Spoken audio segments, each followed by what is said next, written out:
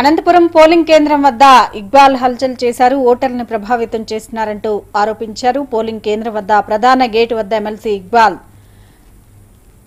మాటామంతి జరిపారు. పోలింగ్ కేంద్రానికి వంద మీటర్ల మేర పార్టీ నాయకులపై నిషేధం విధించారు. అయితే యథేచ్ఛగా ఎన్నికల నియమావళి ఉల్లంఘనను తప్పిస్తూ పట్టించుకోలేదు. అయితే పట్టించుకోలేదు పోలీస్ అధికారులు కూడా. ఇక ఈ నేపథ్యంలో అనంతపురం పోలింగ్ కేంద్రాలకు వైసీపీ ఎమ్మెల్సీ ఇక్బాల్ వచ్చారు. అక్కడ హల్చల్ చేశారు.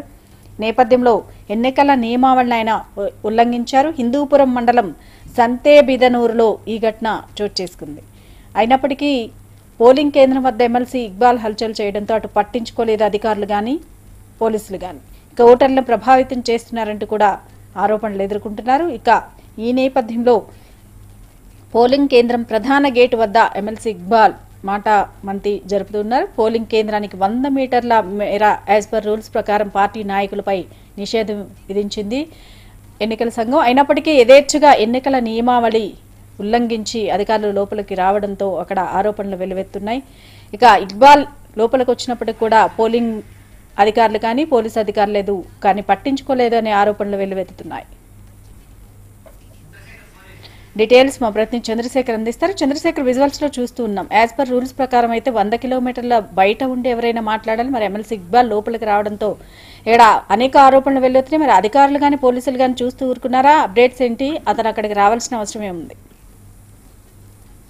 గుడ్ మార్నింగ్ సుధా హిందూపురం మండలం సంతేపగనూరు పోలింగ్ కేంద్రం వద్ద ఈ ఘటన జరిగింది. ఎమ్మెల్సీ ఇక్బాల్ హల్చల్ చేశాడు.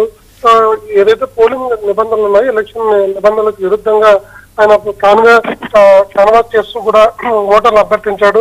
ఆ, ఓటర్లు ప్రభావితం చేసే విధంగా పోలింగ్ కేంద్రం ప్రధాన గేట్ వద్ద ఇక్బాల్ ఆ, ఓటర్లతో మాటామంతి పెట్టుకున్నాడు.